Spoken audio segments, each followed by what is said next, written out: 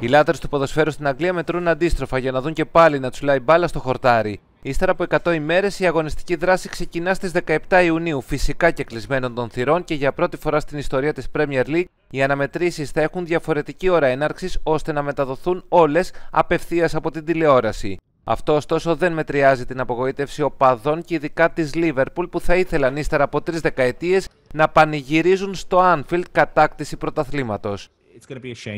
Είναι κρίμα, αλλά μετράει το πρωτάθλημα. Θα έρθει και η μέρα να το γιορτάσουμε. Αυτός ο τίτλος έχει κερδιθεί.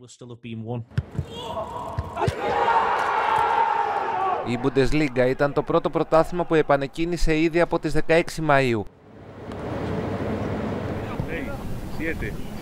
8 Ιουνίου γίνεται σέντρα στη Λα Λίγκα στην Ισπανία και στις 20 Ιουνίου στην Serie A στην Ιταλία. Για την Premier League πάντως λείπει η τυπική έγκριση επανέναρξης από την Βρετανική κυβέρνηση.